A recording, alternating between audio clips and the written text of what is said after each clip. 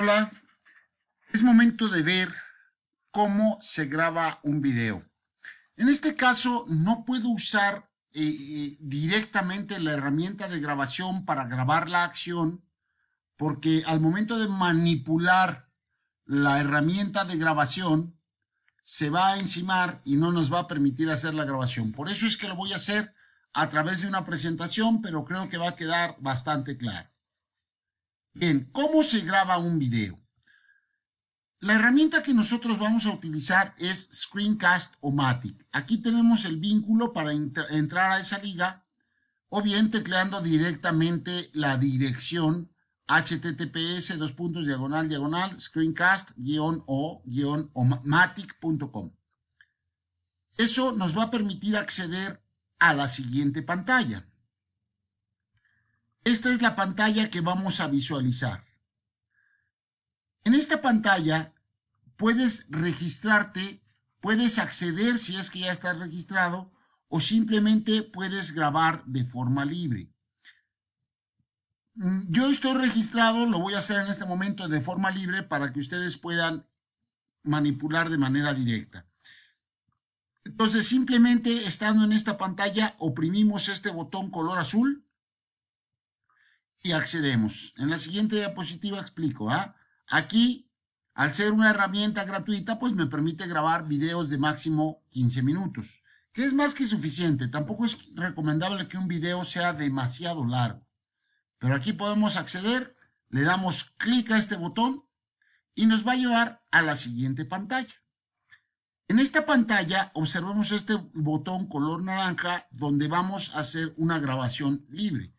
Le damos clic y en ese momento la pantalla me aparece de esta forma indicando por la línea punteada el área en la que puedo estar grabando o en la que estoy grabando. En esta parte tengo los controles de grabación que vamos a analizar más adelante. Y en esta parte observen esta pequeña flechita que se percibe aquí. Al seleccionar esa flechita, yo puedo acortar o agrandar el espacio de grabación. Esa es el área que se va a grabar. Bien, aquí tengo ya los controles. Vamos a ver qué hace cada uno de los controles. Voy a mover tantito esta imagen. En primera instancia tengo estas tres herramientas que me permiten grabar toda la actividad de pantalla, grabar solamente de la cámara web que tenga integrado nuestro dispositivo o una cámara externa si es que la tengo conectada, o bien grabar de ambos. Para el caso de este video en particular, yo estoy usando grabar de ambos, por eso es que aparece este cuadro en la parte de aquí y además aparece toda la actividad en pantalla. Estoy grabando de ambos lados. Segundo, se establece un límite de tiempo. En este caso yo estoy dejando 15 minutos, que es lo que me permite la forma gratuita. El tamaño es el tamaño de pantalla que tenemos aquí. Se puede definir aquí de forma directa o bien a través de la flechita que les indiqué que aparecía en la parte de abajo. La narración me permite activar o bloquear el micrófono. Si yo lo bloqueo, pues lo que yo diga o haga no se va a escuchar. Entonces, en este caso, lo tengo activo para que puedan escucharme.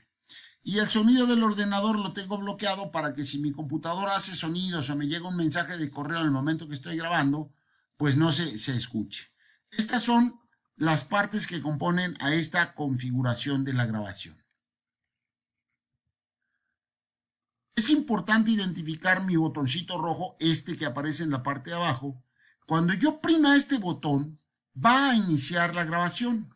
En este caso, eh, el Screencast-O-Matic me va a decir 3, 2, 1, comenzamos y en ese momento inicia la grabación una vez que yo oprimo este botón rojo.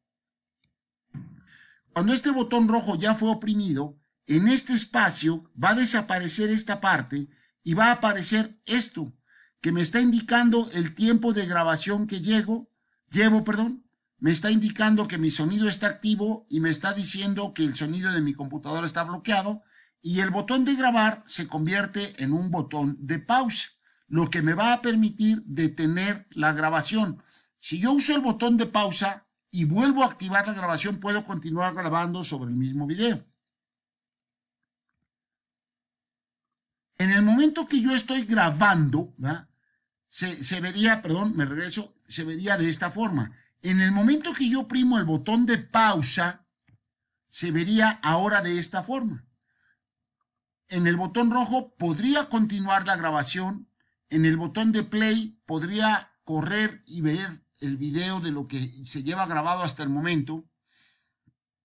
Aquí me indica el tiempo que llevo grabado. Aquí puedo ir hasta el principio del video o hasta el final del video. Este que es un pequeño botecito de basura me permite cancelar todo y volver a empezar. O sea, yo puedo cancelar toda la grabación y vuelvo a empezar desde cero. O bien el botón de hecho. Normalmente, pues yo esperaría que este sea el que usamos una vez que nuestro video esté listo. Cuando yo termine de grabar, aprieto pausa, primero aprieto pausa y después aprieto hecho. Cuando aprieto hecho, me aparece esta pantallita que me dice qué quieres hacer con el video que acabas de grabar. ¿Ah?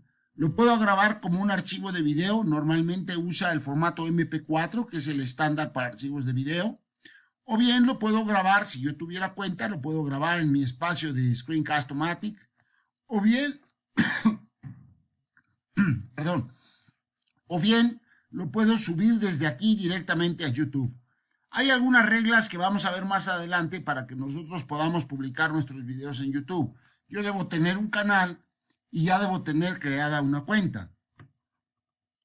Perdón, pausé un poco la grabación porque me dio algo de tos.